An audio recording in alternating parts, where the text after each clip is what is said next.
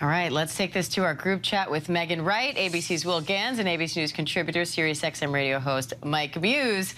Megan, one of the topics that you tackle in this impact is the evolution of reality TV. So when you look back at when MTV's Real World first launched, you know, how mm -hmm. have mm-hmm. things changed in the last 30 years to get us where we are right now? I mean, everyone is obsessed with what's happening right now.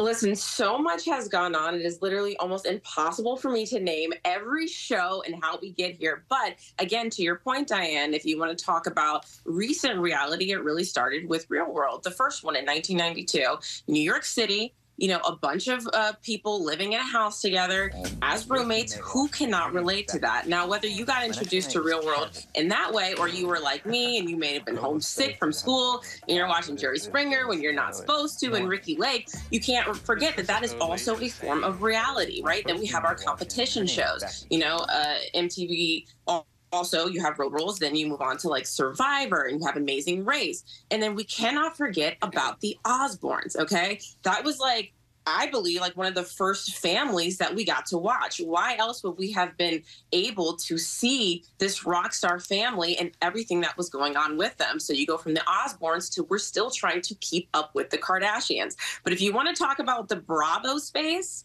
right? And how we got to Vanderpump Rules, you have to start with Real Housewives of Orange County. That to me is the origin story because without Real House of Real Housewives of Orange County, the original uh, Bravo part of the Bravo universe, there would be no Vanderpump Rules. So it's just going to keep going and going and going and going. Well, last night was part one of the Vanderpump uh, Rules reunion, and of course, Scandoval. This whole thing was front and center. So how did that go down, and how are people reacting? I mean mean, Twitter is popping off. TikTok is popping off still to this to this very moment. I was just checking my phone to, to make sure that I'm still caught up on what people are saying. First things first, people are saying that Ariana was rock solid. I mean, she has been through it, but she showed up and she was not holding back. She mm. was refusing to be victim blamed. You know, Andy was like, what was going on in your relationship that might have led to this? She's like, it doesn't matter what was going on in my relationship. He's the one that cheated. That's that's where right. we're at. Number two, Raquel was sequestered away in a trailer 100 yards away from the actual reunion because she had filed a restraining order against Scheana. So they kept on cutting away to Raquel watching from afar, and everyone was like, what are we seeing right here? And finally, it was James Kennedy's night to shine. I mean, he is now the quote-unquote number one man since everybody's mad at the Toms. At one point, he called Tom Sandoval a worm with a mustache. Some of the things he was saying, I mean, he has gone full meme status this morning.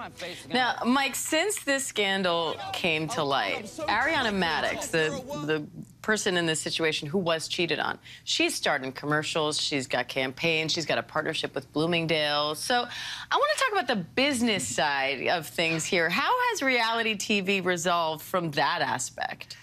It's changed tremendously. Uh, and Megan, in her package, and also too, she mentioned uh, Real World being the first one. I have to give a shout out to my co-host on Sirius XM Sway in the Morning, Heather B, uh, who is also too a rap pioneer and an icon, who is still in radio today, who is still doing film and television, but she has evolved her brand now to a lip gloss line with Billy Talks, and now she's going on the road tra traveling with partnership with the Hooters. And so this is what happens from reality stars, is that they're able to constantly evolve, partner with brands in order to propel one both brand identity and also to their personal evolution too as well. Reality TV translate now to actually big business. Uh, Megan, given how lucrative this has become, how has that changed the way these shows are produced and how the people on them are incentivized to behave? How real is current reality TV? Well, it's very interesting because, you know, I don't want to give too much away of the latest Impact uh, episode that I did. So you make sure you check that out. But, you know, I talked to uh, reality stars who were still on reality TV and also some that are not. You know, everybody kind of explained to me when I asked them, like, is this really real?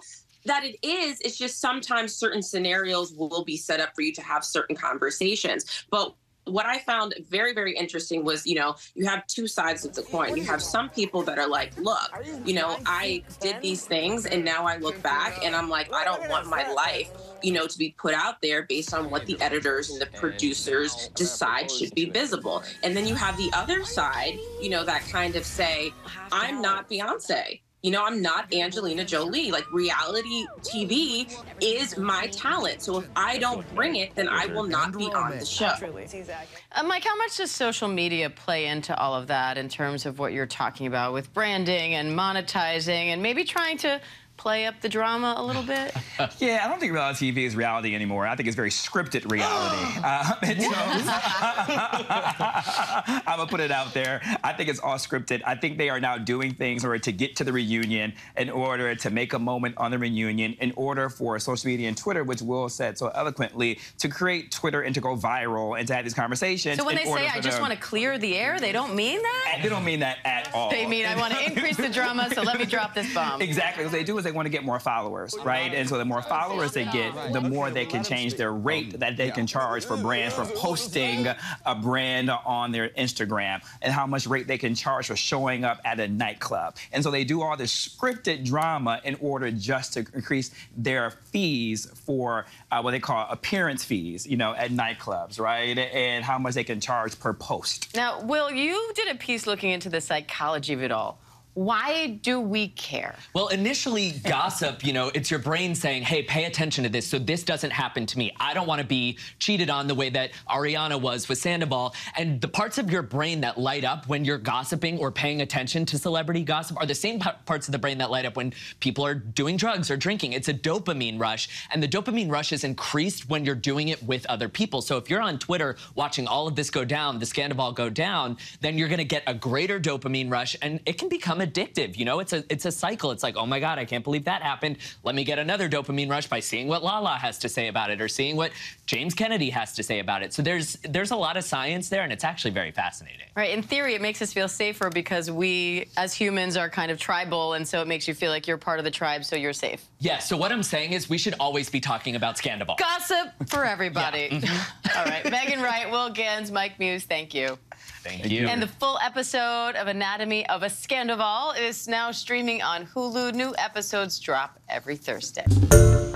Hi, everyone. George Stephanopoulos here. Thanks for checking out the ABC News YouTube channel. If you'd like to get more videos, show highlights, and watch live event coverage, click on the right over here to subscribe to our channel. And don't forget to download the ABC News app for breaking news alerts. Thanks for watching.